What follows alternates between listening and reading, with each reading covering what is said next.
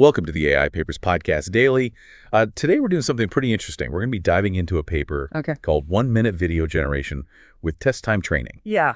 Um, and I think what's really interesting about this is it's tackling a big challenge in AI video creation, which is how to generate longer, more coherent videos that tell complex stories. Yeah. You know, because right now, if you look at a lot of Yeah. publicly available AI tools for video, they're really limited to short clips. It's a great point. Think about Sora, MovieGen, Ray 2, Veo 2. These are kind of the big names in the game right now. Yeah. And they're mostly producing videos that are seconds long. They struggle to weave together multiple scenes into a longer narrative. Yeah. And so this paper wants to extend those limits significantly, aiming for a full minute of generated video with a complex story. Exactly. And so they highlight a couple of reasons Yeah. why this is so difficult for current AI. Hmm. Uh, the first one is about how AI models for sequence generation, you know, these things called transformers, how they handle long stretches of information. Um, Mm-hmm. and it really has to do with Yeah. how they become Yeah. really expensive from a computational perspective Exactly. as the video gets longer. So the, the core insight here is that as the video gets longer, Yeah. the computational demand explodes exponentially. Imagine trying to compare every single pixel Yeah. with every other pixel across an entire minute of footage.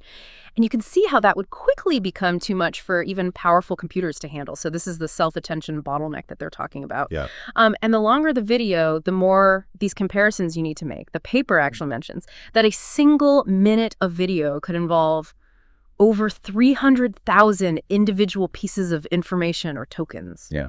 The second challenge that they discuss is around some of the more uh, recent and efficient alternatives Mm-hmm. to the self-attention mechanism. Uh, and, you know, these are things like RNN layers and newer versions of RNN layers like Oh. Mamba and DeltaNet. Um, now, these are a lot better at dealing with long sequences. But the researchers argue that the way that these models store information from the past, what they call their hidden states, Mm-hmm. isn't really sophisticated enough to capture the nuances of a multi-scene story. I see what you mean. So what's fascinating here is these more efficient layers, hmm. they're great at keeping track of things in a long sequence, but they're not as good at remembering and mm-hmm. understanding the co- complex relationships between events that happened much earlier. Yeah. It's almost like trying to summarize a novel in just a few bullet points. You lose so much of the richness that connects everything together.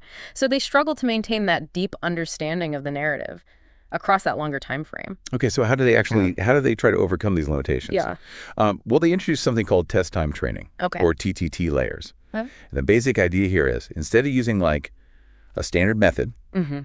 for remembering past information, like a piece of data, they actually use a small neural network as the memory itself. What's significant about that is that a neural network can store and process complex information much better than, say, like a fixed size piece of data. Yeah. Think of it like upgrading from a simple notepad to a powerful computer for taking notes. So these TTT layers can retain much more intricate detail from the preceding video.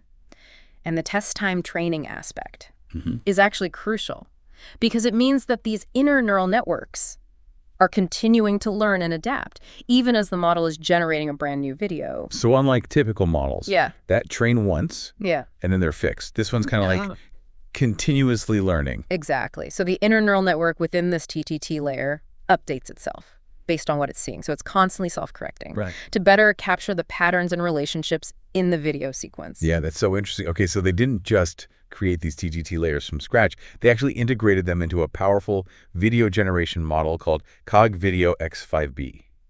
Okay. Um, now, can you explain a little bit, what is a diffusion transformer? Sure. So a diffusion transformer is a type of AI model that learns to generate videos by starting with just visual noise and gradually refining it into a coherent image sequence guided by some text description.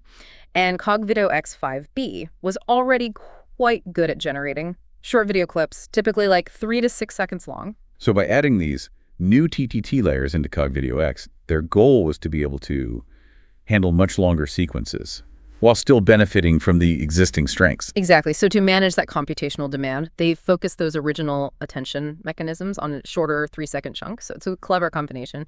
You have these local attention mechanisms handling the details and coherence within these short segments.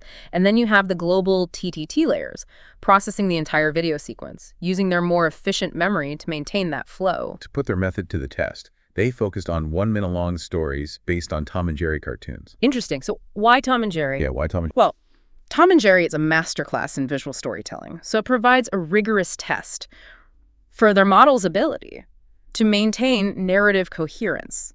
These cartoons have intricate multi-scene narratives with lots of dynamic movement and cause and effect relationships that unfold over time. Yeah. They even created their own data set of about seven hours of cartoons with detailed text descriptions of what was happening scene by scene to fine-tune their So role they were just aiming to generate random one-minute animations. They were really trying to what capture, capture and the logical progression. yeah, of Yeah. events that you see in a Tom and Jerry episode. Exactly. Yeah. Their focus was on achieving long-range coherence and capturing those intricate storytelling elements. Even if the generated visuals weren't perfect, So if they can make progress on this in a complex domain like cartoons, those advancements should eventually benefit more general video generation tasks as well. right. Now, how do they actually determine if their TTT enhanced model Yeah. was better than existing methods? Well, they conducted an evaluation where humans watched and compared the videos generated by their method against videos created by strong baseline models,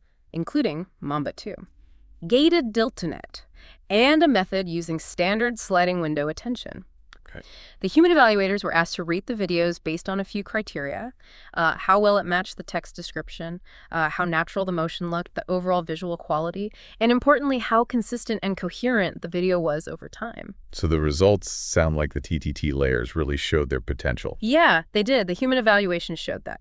Their TTT MLP method produced significantly more coherent videos with complex stories compared to the other approaches, and they measured that improvement using ELO points. Think of ELO points as a way to rank players in a game based on their wins and losses against each other. Yeah. In this case, the players are different video generation models. Their TTT MLP method achieved a 34 ELO point improvement over the next best baseline. For context, the paper mentioned. A noticeable improvement in language models could be around 29 ELO points, so 34 is a really meaningful gain. Yeah, that's a very compelling result, and it really highlights the power of these TTT layers.